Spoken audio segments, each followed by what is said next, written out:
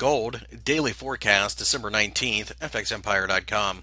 Well, you can see that gold had a very rough session on Monday, and we even managed to break down a little bit of a trend line.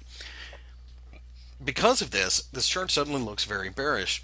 However, having said that, we are still not prepared to start selling, and there are several reasons.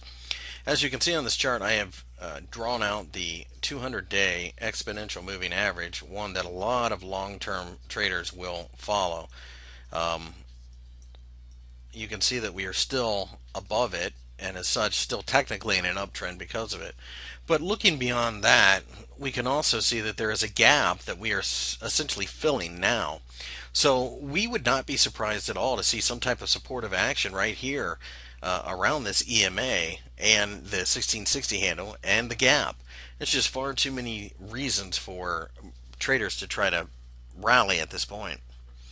Plus, uh, should be said that uh, you know we lost uh, $28 an ounce, and that is a pretty significant move. These moves almost always get retraced a bit.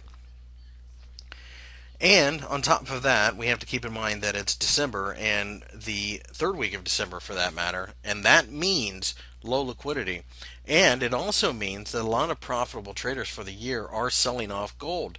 This has happened every year for the last 10 years, roughly, that gold has done well enough that traders had to collect their profits in the end of the year in order to uh, produce nice statements for their clients.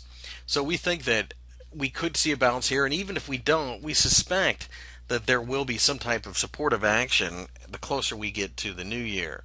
And as such, we are willing to be patient. This is a long term trade, has been for a very long time.